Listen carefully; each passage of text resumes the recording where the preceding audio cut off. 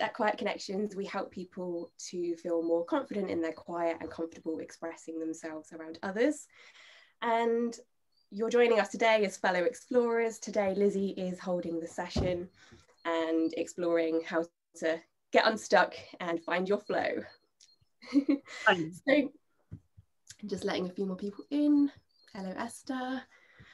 Um, if you want to just start by typing in the chat and saying hello and let us know where you're from.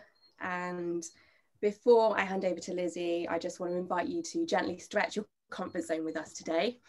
And for some of you, that might mean just showing up is a stretch, and that's great. And for others, that might be participating in the chat either through, you know, un- unmuting yourself and sharing your thoughts that way. You might come on camera with us. Some of you already have, and that's wonderful. Mm. Um, you might just choose to type your comments, thoughts, and questions in the chat.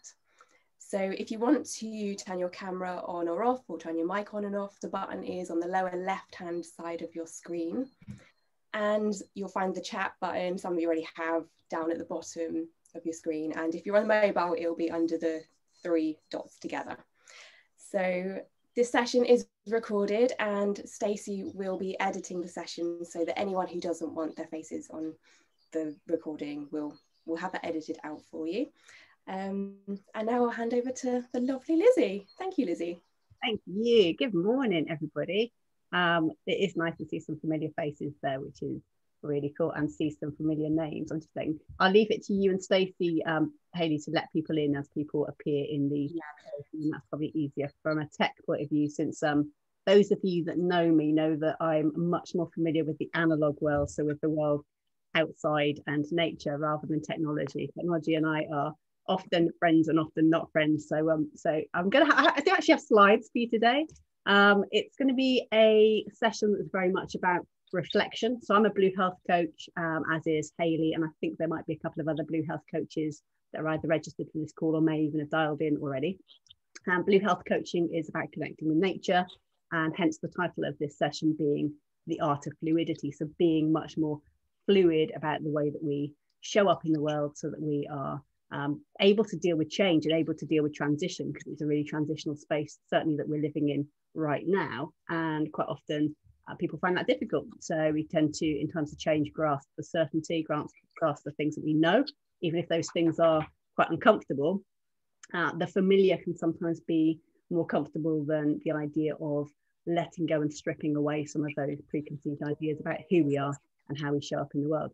So I've got some massive topics. and We've only got around an hour, maybe a little bit more for a discussion. So this is certainly going to be questions for you to maybe note down. So if you do have a journal, I would definitely say grab a journal or grab a piece of paper for you to note down the questions or watch this recording again so that you can have some deeper reflection because the questions that I'm going to ask aren't really questions that you're going to be able to answer really, really quickly off the top of your head, and nor would I want you to because they're the sorts of questions that require you to maybe delve into your body a little bit around how do you how do you show up and how do you experience the world around you. So they're the sorts of questions that i'm going to ask. Um, a couple of caveats.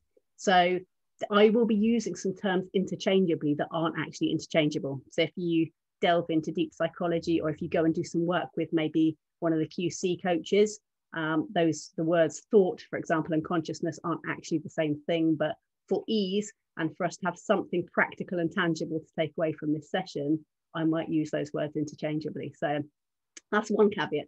Second caveat is I like to go off on one in terms of esoteric, deep philosophical discussions about the nature of life, the meaning of the universe, and everything. So again, we're going to attempt to bring it to something quite tangible uh, that we can that we can practically apply in our day-to-day lives uh, and be fluid in the way that we approach that. So I'm going to stick my slides up in a minute. There is opportunity for you to chip in verbally if you like, or for us to have a discussion at the end around kind of your so what, uh, your so what now what from the session in terms of what are the insights that you've made and how might they influence the way that you go about your day and think about yourself. There's a couple of big aims. I'm going to find the button to find my slides for a second. A couple of big aims. Uh, let me see if I can do this you have to tell me if this if I have got slides coming up or not in a moment. Let's see. Preparing slides, it says. Can you see that, everybody? Can you see some slides? Yeah, you good? Okay, so um, so I've got a couple of big aims for this session. One of the aims is that you um that you can be more fluid, that you can be more flexible in the way that you um, go about your day-to-day life. So that's that's hence the title. So have greater ease with yourself, if you like, rather than um, having this fixed idea about who you are. And the second one is about empowerment. So it's about being more empowered to ride the waves of change, if you like. So being able to act towards or respond to the world around you with greater empowerment. So being able to be at choice. So rather than the recipient of your emotions, for example, it's about detachment. It's about detaching from our thoughts and detaching from our emotions, um, ironically, so that we can connect more deeply. So we're going to explore that concept. And I don't know how much time each of you spend thinking about your thinking or thinking about your feelings. Uh, if you're having coaching with Haley or Stacey or one of the QC crew, probably quite a lot of time. Uh, but we're going to explore thinking about those things, but also not thinking about those things. So being able to spend time just simply being and connecting directly with our experiences as much as we possibly can. Um, there is a chat box for you to type in I can't guarantee that I can catch every single question that comes up, but do feel free to type things in and then maybe at the end we'll do some sort of mop up around questions and insights in relation to that. Okay, so the art of fluidity. What is the art of fluidity? She says. Okay, I'm just going to reduce your boxes so that I can see what I'm talking about. Three areas we're going to chat, chat about. One is consciousness and thought. So really starting to think about, well, what does it mean to be conscious? and how do our thoughts impact the way that we shape our world, the way that the world appears for us, so the phenomena that we therefore pay attention to. We're going to explore emotional waves, so practical tool for you to think about tracking your emotions and noticing what your baseline is. So uh, I use a lot of water metaphors, so maybe thinking about your mean high water and your mean low water, so your average average sort of emotions that you might orientate yourself within and, um, and recognizing what that baseline is in order to act upon that information so that you can come from a place of knowing rather than simply being within that emotion, if you like. And then briefly, we're going to explore life as a shifting process or self as a shifting process. So rather having this, rather than having the sense of I am this person, recognizing that we're all evolving and flowing and changing and adapting moment to moment. And that's both from a neuroscience perspective, but also from a esoteric wisdom perspective. Okay, so slides and notes. Cool. It's like it's navigating slides and notes here. It's very organized for me. Okay, consciousness. Consciousness. Um, I want you to think about consciousness for a moment and think about what it means to you. Okay, so this is opportunity to type in the chat box because I've put you know, something from my perspective it's something we do. Uh, it's not something to be found within it's something that we do. And i've said that our senses and our minds have a role to play in interpreting the world. Okay but i want you to think about for you. And it's not the academic answer for what is consciousness. I'm really seeking your perspective in relation to the term consciousness. When you think about being conscious what does that mean for you and i will scan the chat box looking for what you're going to type up what does it mean to be conscious? What are the words that bubble up when you think about consciousness? Being what we are more than what we do. Nice. See, yeah. So a totality, this this sense of a totality of what we are. Awareness, awareness. Yeah, Charlie. Yeah, awareness of your experience. So there's awareness comes into play within that. Awareness for Stacey. Yeah. Awareness of self. So julie you know self-awareness it's not rather than just other other world awareness there's an awareness of ourselves within that. Yeah in tune i like in tune. In tune's about vibration and resonance. I like that word being awake awake and present. Yeah not on autopilot elaine. Yeah. I mean i know elaine is a real champion for that. Yeah do not wander around the world on autopilot. Be awake be alert be alive be present. Interacting with the world. So yeah our perception of what it is and how it feels. So it links in certainly to thought and the feeling and to the totality of our experience. And um, it's a really weird one, consciousness, because philosophers disagree with neuroscientists who disagree with psychologists. And the answer around the question, if you were to explore looking for the answer to the question, what is consciousness? The answer is we don't really know. Uh, from any of those angles, we don't really know. Uh, it's probably Jake. Nice to see you, Jake. Well, nice to read you, Jake. Yeah, connecting with the part of you that gives space for thought and experience to be observed. Yeah, so this uh, it's often described as being like the sky, consciousness being the sky, and then you have clouds that pass through that space, and those clouds might be your thoughts and experiences, but they're very transient. Whereas the consciousness is something that is there consistently in the background, and lots of neuroscientists talk about it in terms of being very digital, uh, very discrete. So it's on or off. You're at something's either in your level of consciousness or it's outside your level of consciousness. Whereas lots of philosophers explore it as being a continuum. So there's there's this gradual dialing in or a gradual dialing out. A great philosopher, uh, American philosopher who uh, teaches at UC Berkeley, has got this amazing analogy, and I'm going to change it from a dollar bill to Goose, my dog, is probably the best um, best analogy that I've used. And he says neuroscientists have been looking for consciousness, trying to find it, trying to drill down and find it.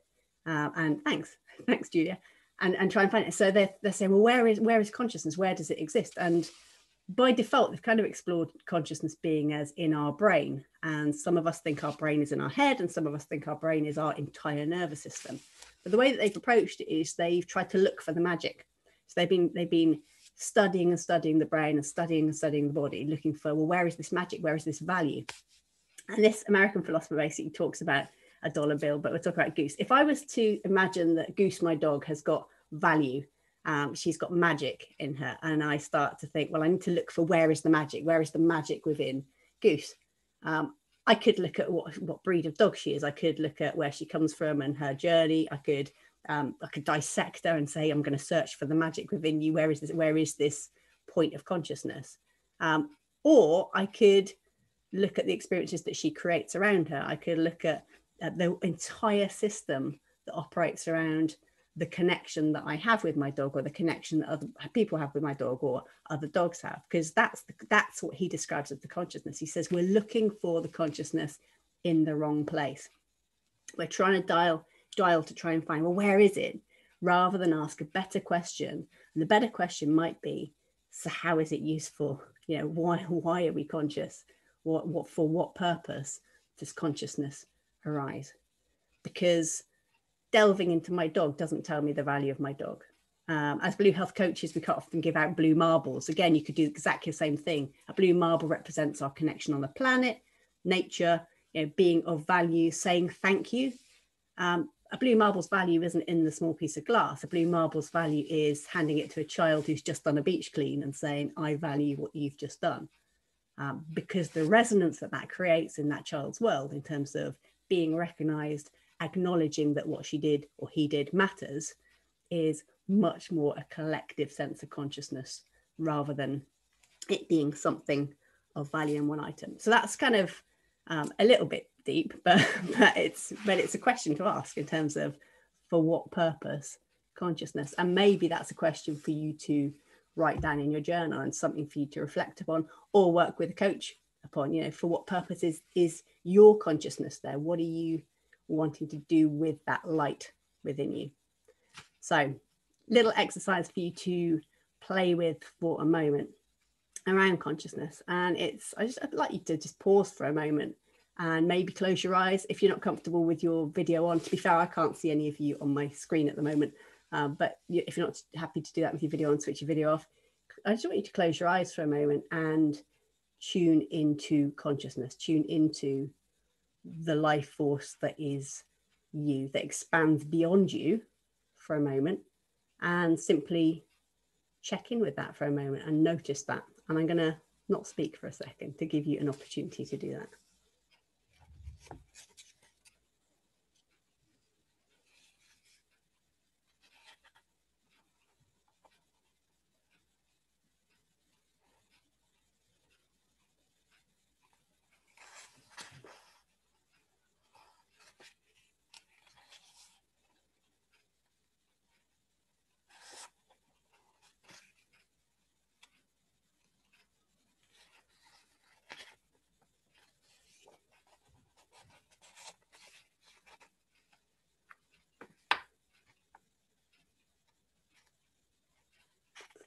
Just typed up. Being aware of our presence within the world. What a beautiful, what a beautiful description. Yeah. And if you think like in terms of, or if you sense rather than even think, if you sense for what purpose do you think that light, or do you sense that that light might exist? What sort of ideas emerge for you? Nice, Julia, located in my gut. Anybody else feel the same?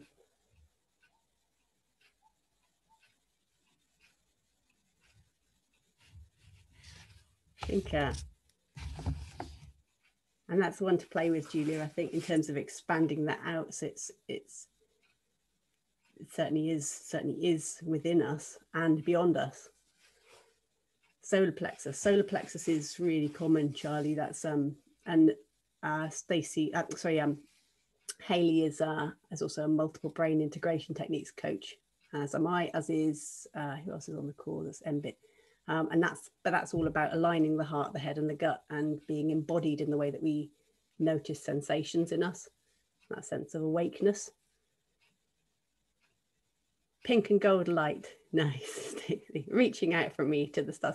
So there's so there's this so that's something to really play with really expanding that consciousness out there's a beautiful exercise that you can do and i know ellie did some stuff for qc around nature connectedness I haven't seen the session, but I would imagine it was around, you know, really paying attention to your environment and noticing the connections that we have with it.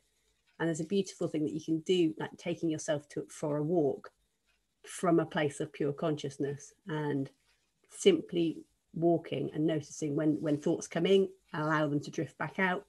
Simply noticing. So, so this morning I went for a walk and you had the sense of all the bird song coming into you and the consciousness in terms of connection with the birds or the consciousness in connection with the ocean was a far more expanded experience of that walk than perhaps it would have been had I maybe had my earphones in or maybe been just looking at looking at the floor as I walked or even if I'd just been looking around and deciding to use my visual sense to pay attention to what was around me purely coming from a place of consciousness purely coming from a place of energy moving around a blue planet gives a very different quality to your experience.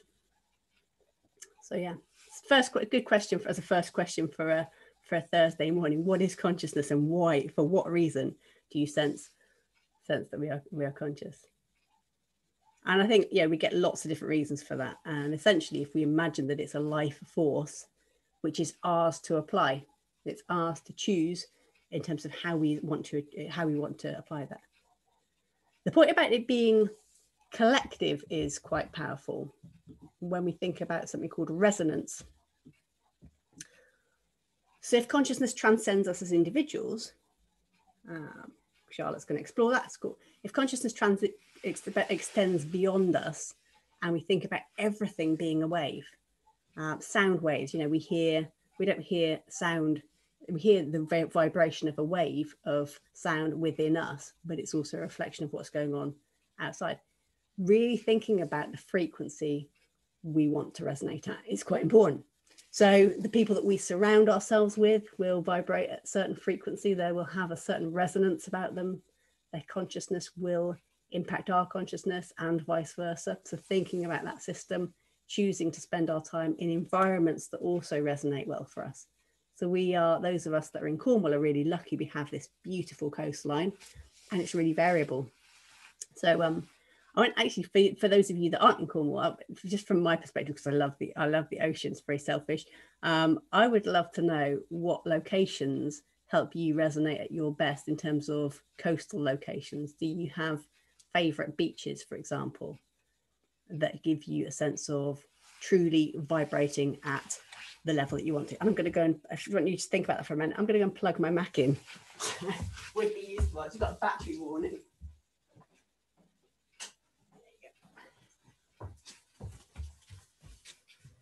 that would have been great, wouldn't it? If the um, computer went off and you got your eyes closed in this world of consciousness and suddenly everything is gone, appeared in a different world. So, yeah, are there are there different people that you spend your time with, but are there actually locations that vibrate in a certain way that give you a sense of showing up most purely, most um, yeah, most purely in terms of that direct relationship. Feel free to type in the chat box if if you like any observations you have around place. South Coast for still, North Coast for motion. I totally agree with you, Jake. So uh, Perranporth, yeah, Perranporth is amazing. I'm biased.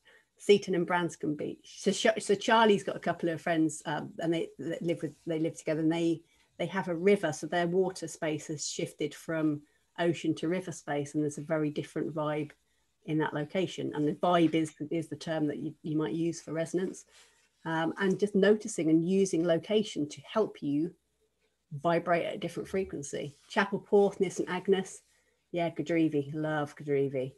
There's, there's some, and when we even when we think about those places, because of how our how our um, systems create consciousness, the chances are that our body shifts. Uh, Ellie, based in North Cornwall, I've always felt my home is a safe place in Cornwall. Grounds me, yes, a sense of place. So really using that awareness to explore: Are you resonating at the frequency that you want to resonate at? Is it is it pure or are you actually closing yourself down in any way shape or form? Because what we're looking at in this session is flow. It's about allowing us to flow with more fluidity. Mexico Towans yeah. Mexico Towans mandy although we're normally rescuing seal pups aren't we when we go down there but Mexico Towans is amazing. It's a beautiful space. And the richness of the world around us gives us so many different opportunities to play with that to play with being fluid. So I know for a fact on a turquoise day, Porthcurno is this amazing, Porthcurno Beach is this amazing bright turquoise colour. Um, I'll go there and I'll, and I'll feel really, really creative and my energy will shift purely because of the energy of the space, this consciousness within the space, Porthcurno. Um, but I can't stay there for forever because I actually come away and I'm like almost ringing. It's a um, it's a very high frequency blue versus I might go to Polly Joke or Porth, yeah, Porth, Porthjoke, which is on the north coast on a calm day, and that might help me to move into a more calm and reflective space because of that resonance that the space has. So yeah, so make a promise to yourself, perhaps, or a commitment to yourself to play with resonance, play with noticing resonance when you're around other people, or noticing resonance when you are in certain locations because actually that's your consciousness coming up to meet your coming up to in your into your into your attention. Okay. Got some beautiful beaches there. So even even reading about these beaches i'm like oh yeah beautiful beautiful places. Okay. So let's um so, so let's simplify further and think about awareness. Um, and and if we think about awareness in terms of our thoughts our thoughts become patterns which become habits. And those habits can sometimes be misconstrued as being part of who we are. And they are part of who we are, but they aren't the totality of who we are. So I've got a question for you right now, because there's generally stuff that's within our awareness and there's stuff that's beyond our awareness. And we have the power to both direct and expand our awareness. And we can do that through taking ourselves to different locations in order to shift our peripheral vision into a much more wide angled frame. Or we can do that through conversations that enable us to separate ourselves from our thoughts. So, question for you right now How busy is your mind? And that could be out of 10, or that could be a descriptive word. How busy is your mind right now?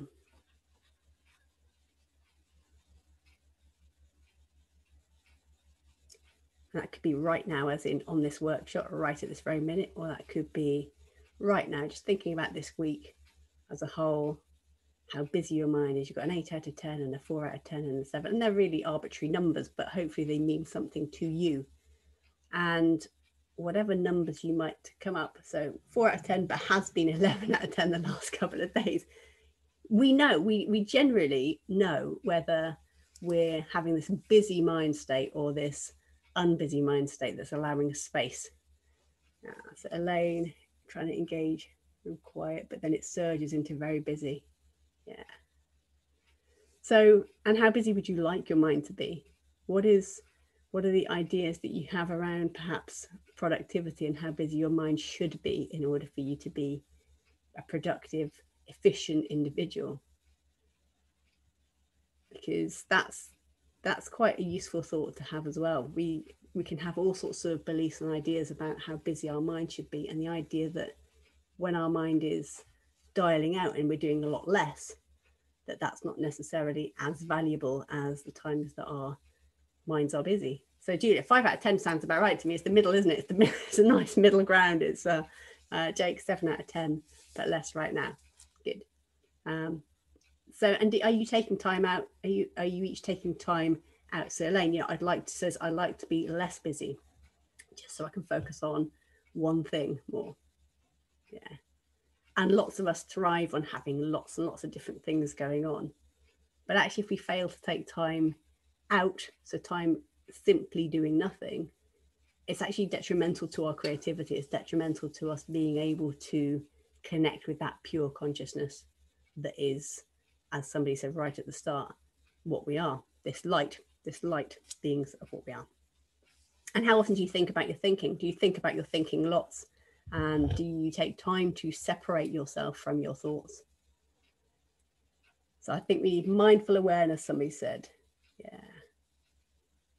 So um a good activity that you can do is is write down what thought what make what one thought just pick pick one thought for something that's not so helpful and one thought for something that is helpful that is dominating your attention right now the act of writing it down dissociates us from it and the act of then exploring both of those things means that we're approaching our thoughts in a very balanced way uh, often what can happen when we have coaching or any support there's a talking therapy if you like is our attention is upon the stuff that's not working for us.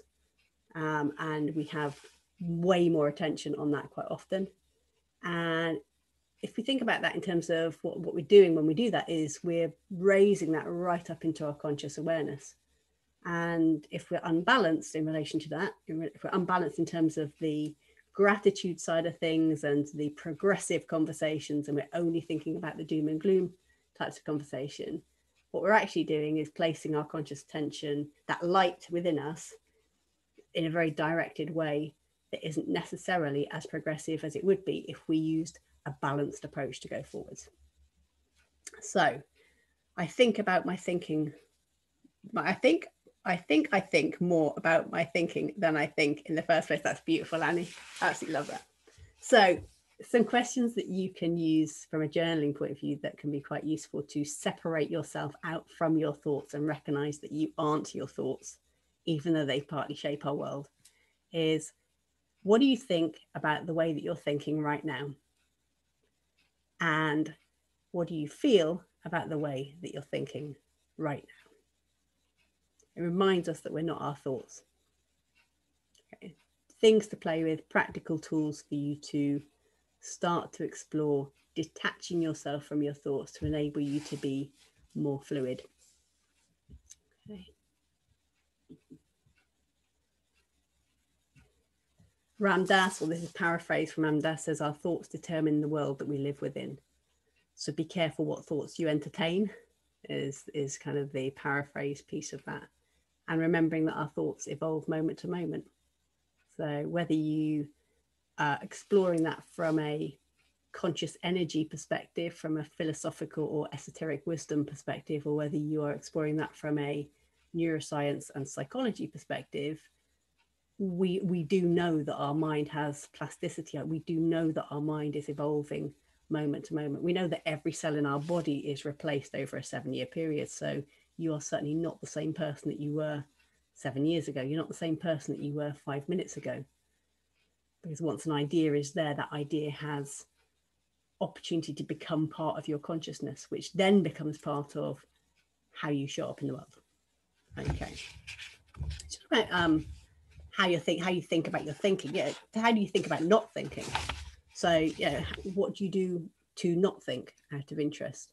Um, what are the ways that you can dial out of your thinking? And this is again, this is opportunity for you to share in the chat box with the group because some of those things might be quite obvious things that that you might imagine lots of people have already considered but they might not be so what are the things that you do to do the opposite of thinking about your thinking to do the dialing out quietening everything being present allowing that consciousness to directly interface with the world. What are your top tips for that? Meditation, yeah, swimming, listening to music, dance, subtle sounds within my experience, yeah, auditory. You know, not recently, but I remember the first time I did yoga, focusing on the breathing, like a miracle. It'd be great to get back to that, Elaine, because you do a lot of yoga. So get back to that child mind of the very first time. Go for a paddle, anything out in nature. Yeah, gardening, yoga, video games, audiobooks, swimming on my own, um, or swimming with others. You know, both of those, both of those things are opportunity and breathe. Yeah. So many things that we can do. Um, meditation, Zen, wave watching, I like to watch um, I like to watch waves, but I also like to watch the piece, the shoreline, the strand line, because that that's a great reminder of, of that transitional space because everything within that space is shifting and it, it captures your attention in a really gentle way. Subre, bringing awareness to my experience in life and my body can also be awareness of contraction in my body when it comes to emotion.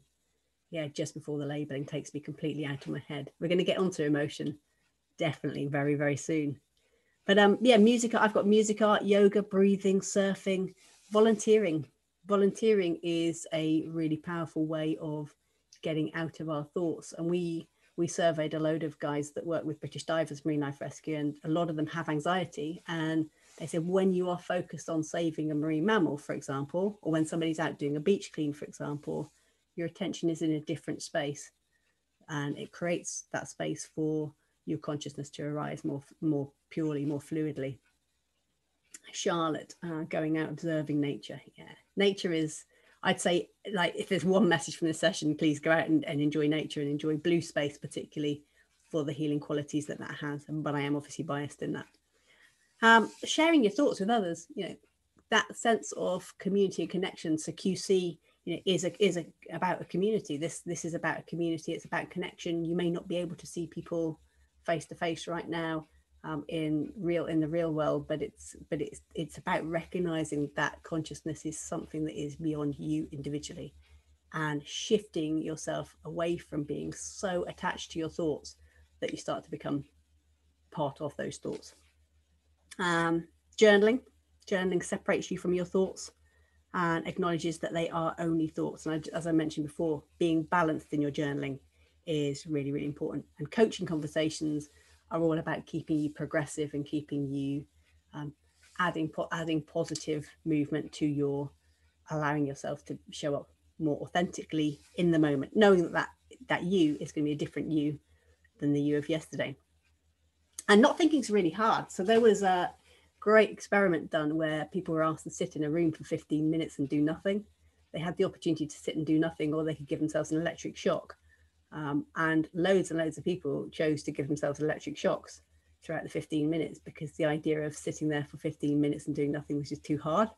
Um, so bizarre. Uh, I can quite happily sit and do sit for 15 minutes and do nothing, but um, go and watch some waves or go and look at nature and sit and notice how many thoughts drift into your mind and how and how much of a challenge it is to actually empty our minds. But it is a practice uh, like yoga is a practice the more you do it the more comfortable you become and the more you can connect with that consciousness. Okay we're going to move into affect we're going to move into emotion now. I notice we're 40 minutes in um, we're a third of the way in we're more than a third. Uh, affect affect is the word the term used for feelings emotions mood that type of thing. And again they're not interchangeable terms but we'll use them as that for this conversation. Um, and for me as a coach, I think improving emotional literacy is is one of the key things that can help provoke fluidity. Having a mindful shower has helped for me recently, yeah. And a cold water, I was going to say, Sarah Jane, yeah, a cold water shower, uh, really powerful for the nervous system.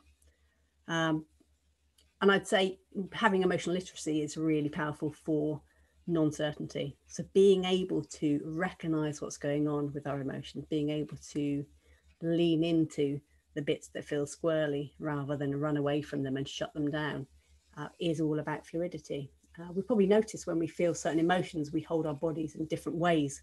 And um, activities such as dance, you know, Elaine, who's on this call, is who teaches dance, being more fluid in the way that we move can certainly allow us to recognize how emotion arises through sensation within our bodies. I like walking on the beach. I like going in the water because again, our body is moving in a different way. Our system is is processing the world around us, for want of a better world, a word, um, in a different way. And that's what our brains are doing. That's all our nervous system is doing. It's processing. It's not the consciousness. It's not who we are. It's simply a way of making sense of the world that we experience. So um, I want you to think about a emotion for you. Um, hopefully, a, a, an emotion that is joyful or positive, an emotion that's, that's something that you that you engage with well. And I want you to, for a moment, um, think about just have or not even think, have a sense of that emotion within you. And I want you to maybe type um, some of the visceral qualities, so some of the qualities of that emotion that you notice. So it could be, you know, I feel when I feel joyful, it's like this. Or when I feel curious, it's like this. Uh, pick any emotion that you that you sense is a positive and helpful emotion, and um, and just share with the group in terms of your in terms of your senses. So Sue says, when I feel connected, my heart expands. That's pretty beautiful. So there's a try that on for size. You know, when you feel connected, does your heart expand? Do you get a sensation across across this part of your this middle part of your body when you feel connected? When I feel relief, that's a good, that's a great emotion. When I feel relief, like, oh, thank goodness for that. I, I feel butterflies in, in my tummy and warm. I feel relief. Yeah. It's like, okay, that's yeah that sense of relief visceral sensations our body coming up with the best way that it can of communicating to us how our consciousness has shifted. Any others? Just wait for a couple more. We just get a couple more. And I feel excited. I feel my eyes open wide and the energy flowing around my body and muscles. Yeah, and I, oh, nice to see you, Hills. Yeah that that's and i can and it's really funny because i know hillary and i can almost see how you look how you look when you're like that that that light that light within you that's like oh, excitement and that different sense of energy resonating from you um, that's palpable that you can that you can feel that consciousness expanding rather than contracting. Charlie i feel most positive loving experiences in my chest. Yeah chest love heart that part of your nervous system being designed or applied to connection and empathy and values and relationship and love. And if you're joyful, it's as if my edges move outwards. That's so cool. That's so cool. And that's that's a great one. That that would be a great exercise to play with in terms of walking around joyful and recognizing the impact that that has with others as well this um, this infectious joy, this resonating uh, wave of joy that is then received within somebody else's space of consciousness. Because we aren't this isolated, these isolated beings, uh, which which is great for when you feel stuck, and it's, it's a reminder that we are fluid. We're we're in flow with other people and with ourselves. And then Annie, it's the other way around. But I, when I learn something interested, interesting, I feel excited and full of yeah, full of possibilities. So you feel full of possibilities. It's like carrying around these possibilities. Yeah. So feelings and emotions are being able to articulate them and like with thoughts, being able to detach ourselves from the sensation and recognize that sensation is our nervous system, but the labels that we're applying come from a place of thought, they come from a place of consciousness. So being mindful of the labels that we apply to our sensations immediately frees us up from feeling at at at, at effect uh, effect is the term but from feeling uh, at the mercy of our sensations because our sensations are simply our consciousness connecting and providing information. It's very non-dualistic. It's not good bad right wrong. It's it's all information. It's all connection. Okay. So have a think about what's impacting your emotions right now. Um, and that could be globally, that could be global, we're in a global pandemic. Um, that could be, so yes, it's beautiful, isn't it, you know, it could be the fact that we're in a global pandemic that might be impacting your emotions. It could be that your work life or your home life has shifted in some way, shape, or form. Um, you might be working less, you might be working more, you might be having different dynamics in the connections that you have with others. So I want you to have a brief sense of what is what is what's in the mix, if you like, in relation to your consciousness, particularly in relation to your feelings, emotions, and mood and recognize that emotional states occur within us. They're a neurochemical response. So, so they are within our body when it comes to the state that we choose to label. And therefore, that's brilliant because that means that we have the choice on what we do about that and how we label it. Okay. So I've got um I got a little blue health coach exercise that's that's I think is quite fun and it's a way of tracking your emotions if that's something that you want to do because you may not you be excited about this or not. So um if you're not familiar with tides uh, particularly familiar with tides uh, we have spring tides and we have neap tides. And it's a tidal cycle over a month over over a month we have a couple of spring tides and a couple of neap tides. What that means is that when the tide comes in on a spring tide the high tide is really high and the low tide is really low. So you have a big movement of water on a neap tide the high tide is really low and the low tide is re- low tide is really high. So you have a small movement of water. So you'll see at different times you'll see a big difference in where the high tide comes up to, and you'll see a really big difference in where the low tide goes up to. And there are something called there's something called mean high water and mean low water. So each beach will have an average high water level and an average low water level. And our emotions are quite similar to that. So there are ways that we can track our emotions. So really simplistic journaling approach that I quite like playing with occasionally with some of my clients is for them to track their emotions. And if you see the wiggly line, there's two wiggly lines here. Uh, and those wiggly lines represent uh, joy, you know, joyfulness and happiness and not so happiness. And you can do that over a week or you could do that over a day, depending on what you want to do. So I was going to invite you to um, scribble if you've got if you've got a pen and paper and very, very loosely. There's no no right or wrong answer to it. Literally draw a line of how your emotions have been over the last since Monday, since Monday, um, this week. So there might have been low points, there might have been high points.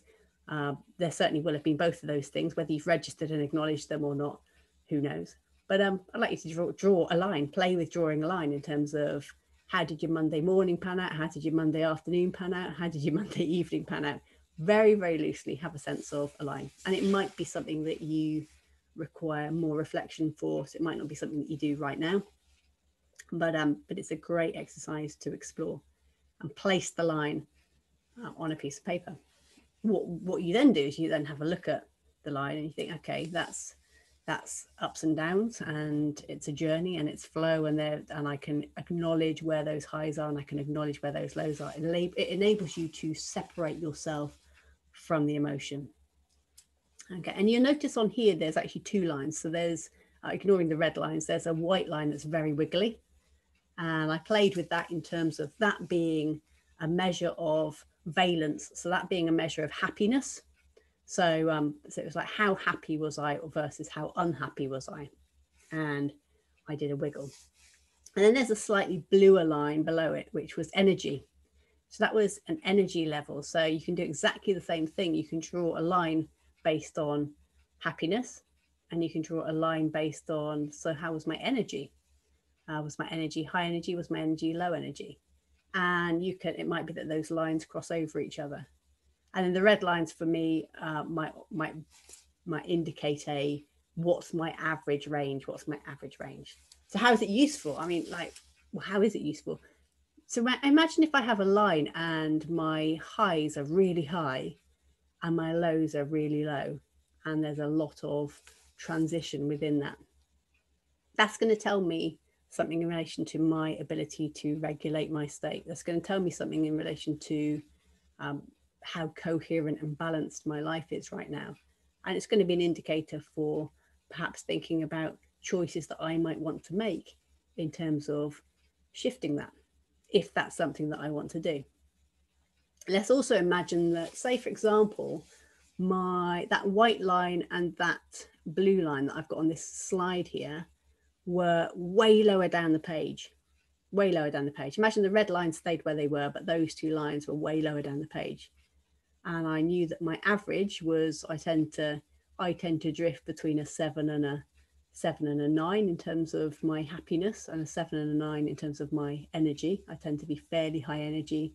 I tend to be fairly happy most of the time. Um, but this week, perhaps my line was a lot lower than that. Maybe this week my lines were drifting between the threes and the fours. It's going to tell me, it's going to give me information that says, okay, that's that's not necessarily how I normally show up. That's not necessarily how my consciousness ordinarily might resonate or where I might like to resonate. So I can do something about that. Um, and it's and it's just a, it's a fun way of recognizing our benchmark. Thank you, Sarah Jane. It is a great exercise. It's um it's about finding your baseline so this exercise, when done over a period of weeks and weeks, when you keep, when you keep doing this over a period of time, you find out where your baseline is. You find out, yeah, this is this tends to be me and my vibe and how I show up. And you can choose to then stay with that, or you can choose to say, do you know what? I need to go and find a bit more joy, or do you know what? I need to go and find a bit more energy, or I need to think about how I'm sleeping, or how I'm eating, or how I'm breathing, or how I'm exercising, because my energy seems to be quite low or I need to think about the people that I'm surrounding myself with or the environments that I spend my time in because actually um, I'm not being as fluid as I'd like to be from an accessing joy perspective. If we are aiming, if, if the point of this consciousness is, is life, the point of this consciousness is to show up fully, we find out a bit more about our baseline. And baselines can be altered and it's but it is a practice it's something that we do over time. It's interesting piece of research around people who win the lottery. Uh, people who win the lottery quite often their baseline shifts up significantly over the short term um, because it's not necessarily because money isn't necessarily the only thing that makes us happy and i know money just pay for lots of things to, that can help help with that. But what tends to happen is people who win the lottery not that long afterwards they return to their ordinary baseline. So they actually return to exactly where they were in terms of their levels of happiness which is a great reminder that finance isn't the only thing that makes us happy but it also helps us recognize that when we put in uh, attention to our consciousness and how we're sharing our consciousness, we can consistently move that baseline, if that makes sense. So, two things that you're measuring on there, um, and there's a different, I've got a different slide that shows it as well. Um, yeah, there's some examples of baselines. You can see the top one there is, you know, somebody that's got a lot of shifts in mood, a lot of shifts in um, in in mood, and then the second line might represent energy it represents and if you look at the first two of those if they were mapped together you might say okay so somebody had high energy at the same point that they had a, a positive mood. So that was a moment that they were probably quite exhilarated. But there might have been other times in that person's week where they had very high energy but a negative mood uh, which is you know what sorts of things are that? That's rage anger um, frustration high energy negative moods um, uh, a, has a different has a different quality to low energy negative moods. So really thinking about the sensations that might exist within those and the labels that we might apply to those helps us to be informed. And that's and that's all this exercise is for. It might be too much detail for lots of people. Uh, but i think it's quite i think it's quite a fun one if we're thinking about being fluid and if we're reminding ourselves that that we are not we're not our emotions. Like we're like we're not our thoughts we're not our emotions. So, and the best way to explore being more emotionally coherent in terms of managing those emotions is to engage in something called risky play. So being able to, and, and Haley started off this session with, with inviting people to step out of their com- comfort zone. And I certainly would at the end of the session invite you to join the conversation at the end of this um, on video if that is something that's outside your comfort zone. Uh, because the more we expose ourselves to things that challenge us, the more we realize quite how capable we are of connecting very authentically from that place of light. So whatever risky play is for you, maybe make a list on your journal of something that you can do that's that's a challenge for you this week. Um, by the end of this week, so you've only got three more days after today uh, that will help you to expand that level of comfort with your consciousness. Uh, yeah, the labels that you place on moods can be useful. So they can be useful for expressing what's going on for us, but they also can be limiting. So Um, anxiety, for example, becomes my anxiety. It's my anxiety that's doing this. Or we say, I'm an anxious person. And part of being able to communicate emotions in terms of labels is about owning them. It is about recognizing it's a neurochemical shift within you, but it's also not allowing those emotions to become who we are.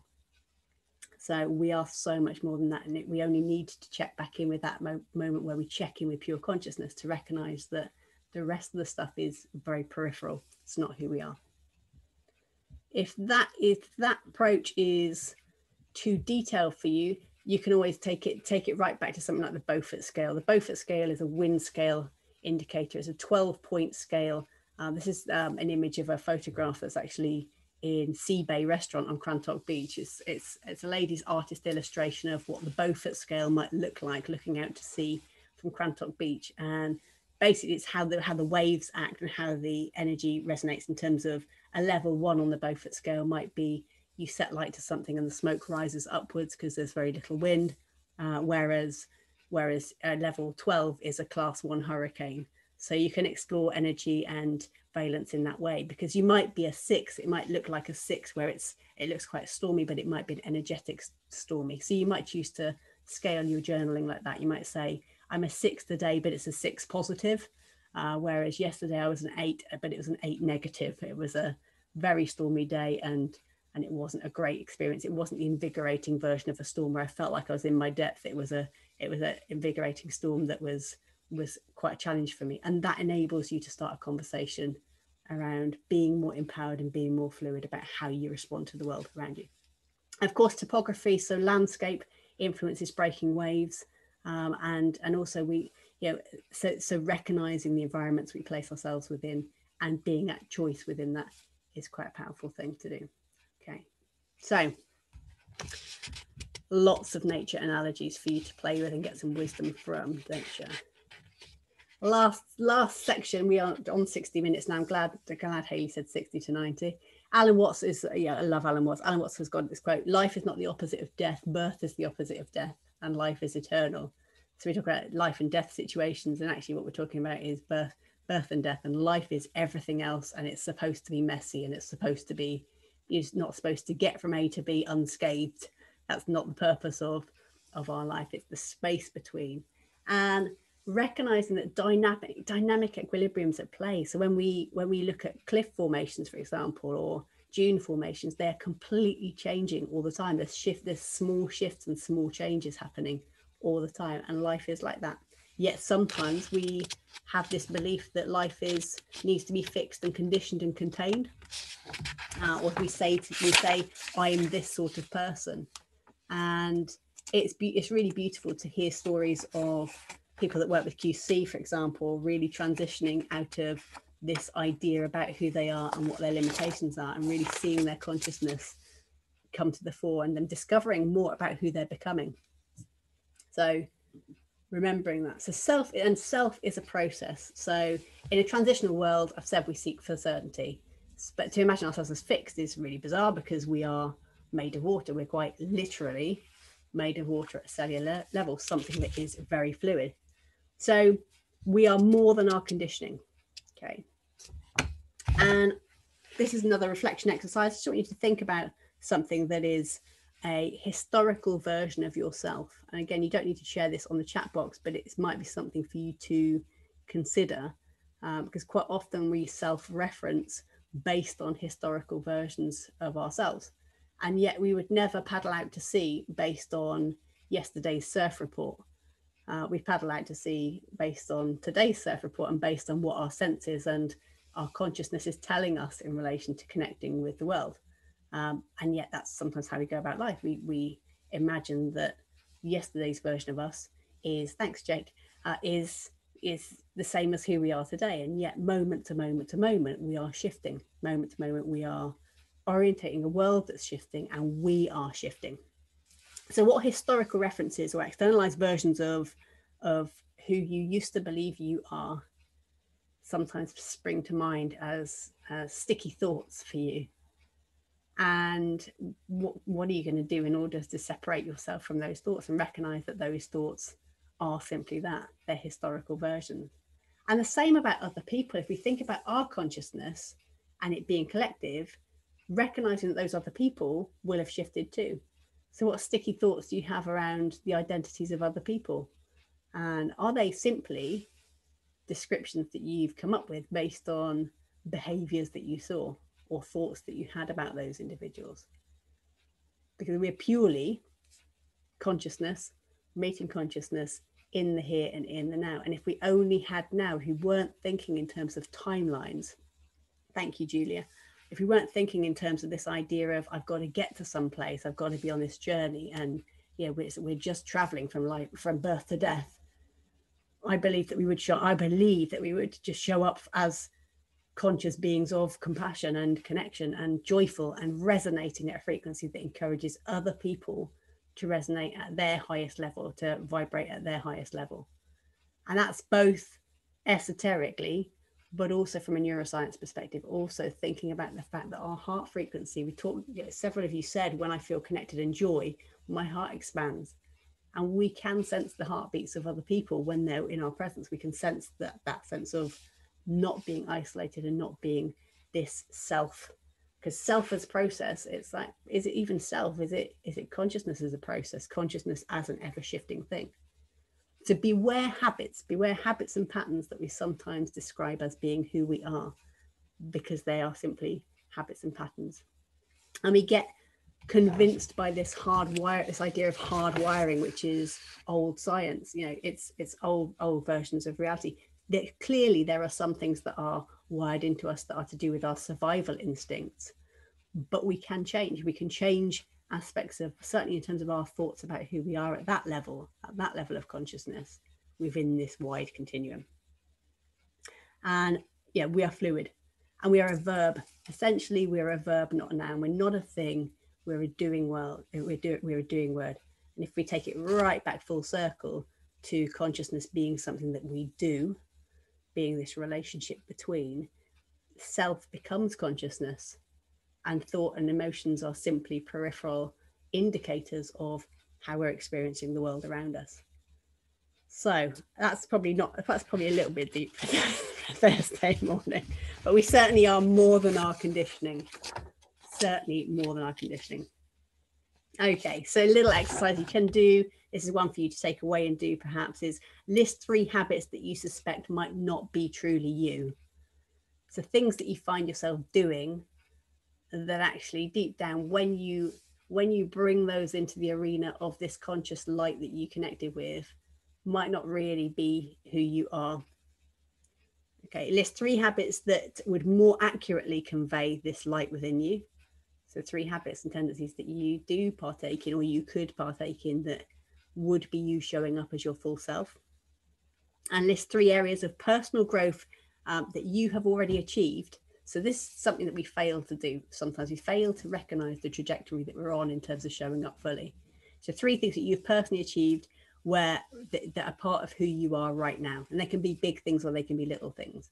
But really acknowledging and appreciating and having gratitude for the growth that you're experiencing because we are learning beings. We are we're light, but we're also we're also here to learn and adapt and evolve and enable others to show up fully. Okay. And if you need more time to reflect on that, that's a big, those are big questions.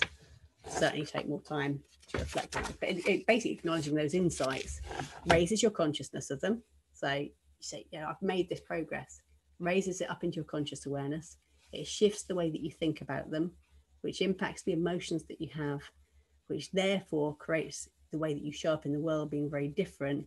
And therefore that that comes full circle to you being more connected and more directly engaging with the world. So I think I've put here, you know, when we connect with pure consciousness, we're aware of our collective resonance. Our new thoughts provide access to emotions that enable us to evolve our sense of who we are, why we're here, and how we choose to show up. And that hopefully is with compassion, creativity, and courage. So, predominantly, this session has been me talking at you because it's it's kind of a weird Zoom world. But I'm gonna take I'm gonna take the slides down and we're so I can see all your lovely faces and we'll have a little discussion about so what, so what and now what. And that might be more reflection, you know, opportunity. But um, but I hope that I hope that through providing some questions and providing some thought direction and also encouraging you to engage in activities such as coaching with your QC guys, um, because that is a way of a way of you expanding these conversations into something that are truly useful for you. Um, I hope that that's that, that's been a vaguely useful um, hour of your hour of your consciousness for you to share with me. I'm going to unshare my slides if I can work out how to do that so that I can see you. Let me go.